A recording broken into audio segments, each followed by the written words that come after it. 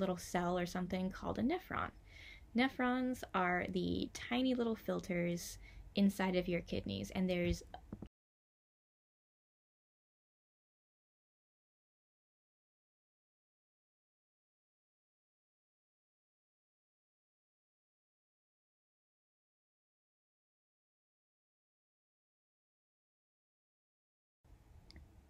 Okay, so this is a nephron, a drawing of a nephron. Um, we're going to look at two main parts of the nephron. This is the glomerulus, I think that's how it's pronounced. Um, and these are a network of capillaries beginning at the nephron, and it performs the first step of the filtration. So, capillaries, if you remember from when we were doing gas exchange, are also found in the lungs, and they are trading out the um, CO2 and oxygen for each other in the lungs. So something similar is happening here as well as the blood goes through the network of capillaries.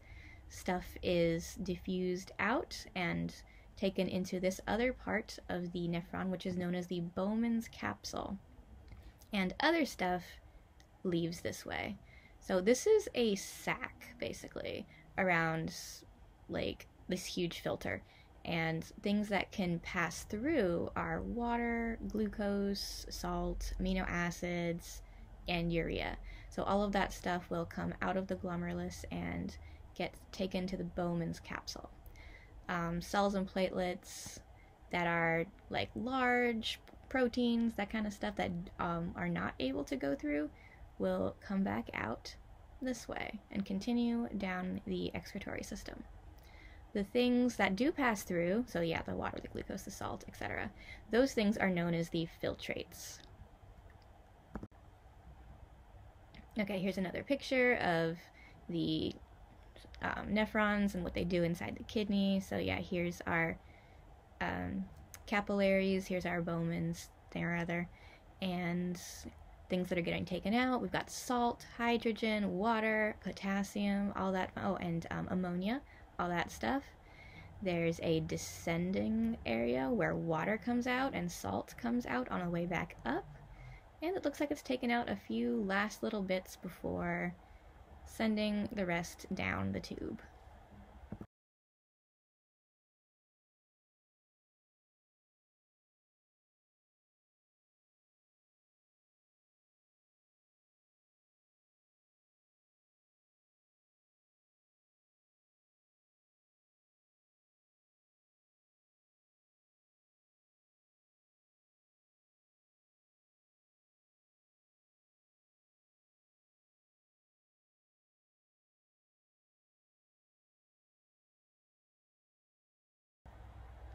So, we're also going to talk about a hormone called antidiuretic hormone.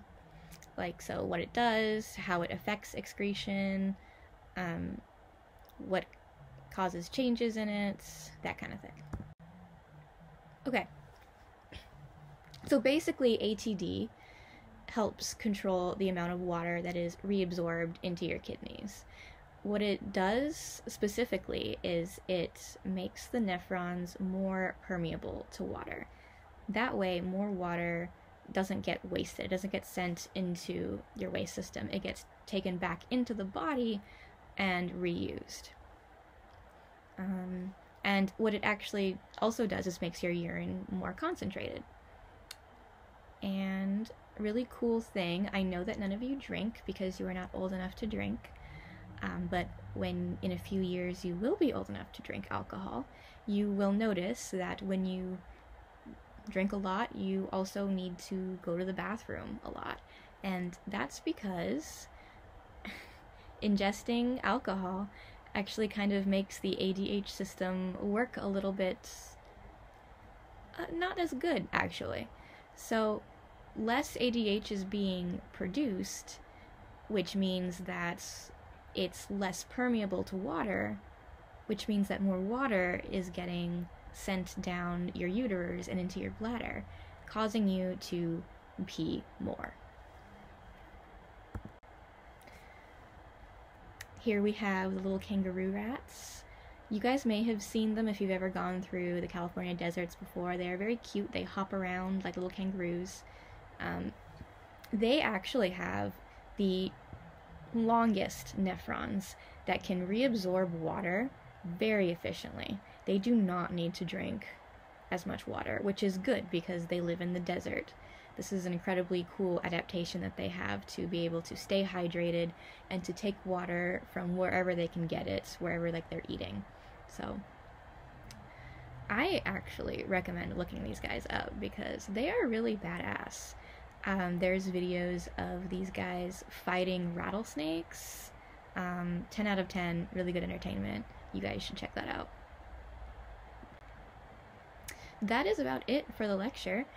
Um, all that I have now is to talk to you about the homework and stuff. We will have a quiz on Thursday, so you're going to want to go over the different systems that we talked about over the past couple days the digestive system, the circulatory system, and of course now the excretory system. Um, we also have our final lab reflection due on Canvas on December 11th. This one is 25 points, so really put some effort into this one. The prompts should be on Canvas, but you're basically writing about your experience in the lab. So leave everything out of lecture, out of this. This is just lab and things that worked for you and things that didn't work for you. Um, if you have any opinions about me, also try to keep that out of there. Uh, for those, you're going to want to fill out the, the seat evaluation form, um, which should be available by now, which feel free and give your opinions there. I, I take my job seriously because I want you guys to be able to learn, and if there's any way that I can improve for the next semester, I am more than happy to hear what you guys have to say. But yeah, in the final reflection, just your experience in the lab without lecture and without me, essentially. We also have a final notebook check on Thursday. It was supposed to be today, but obviously I can't check your notebooks like this. So just bring your notebooks on Thursday and I will look at them while we're in class. If you know that you're not going to be here on Thursday, reach out to me, send me an email. We will work something out. Um, oh, and the last thing that I should tell you is for Thursday, which is our last class, by the way, uh, you're going to want to think about what you are, are going to do with your degree because we're going to be talking about preparing for career goals for our last class. So, whatever you're thinking about doing with your biology degree or related, I'm not sure. There's a few of you that I don't think are just biology majors. Um, what do you want to do with it after you leave San Francisco State? Some of you are probably going to want to go onto a grad school program do you have any idea what kind of things you would want to concentrate on for um, your grad school situation and going on to a doctorate and a postdoc and all that stuff?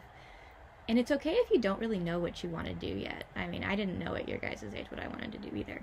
But you can look at different like job ideas that sound really interesting to you. If you've ever thought about considering being a marine biologist, which is really cool, um, you can totally look up some of those careers, and I can also help you with that as well.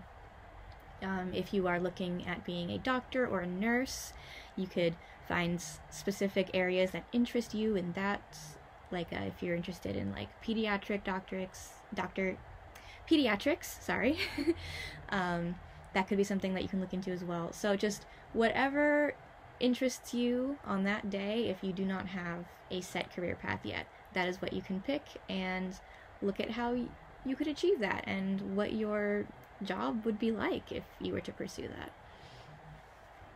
And I believe that's all that I have to tell you for today. Yeah, we got the quiz, lab reflection. I went over the. Um, okay, yeah, that's about it. I will see you guys on Thursday. Um, email me if you have any questions about this, about next lab, and I don't know, just about anything. Oh, before we go, it is not too late for you to upload old assignments onto Canvas. I there are a few of you that are still missing some like lab reflections, for example. Um, now would be the time, if you have the bandwidth at least, to get them in and that way you don't have a zero in there, and it should help improve your score a little bit. You know, anything's better than a zero, right? So if you also want some help with that or are wondering what you need to do, I do have one final office hours on Friday. It's going to be from 12 to 1. Feel free to drop in. Um, the link is on Canvas, and we can chat there. I will have to have your grades in by next week, so you are going to want to make sure that everything that you can do for this class is done. All right, on that note, I will see you on Thursday. Um, say goodbye, Papaya. She said goodbye. All right, bye.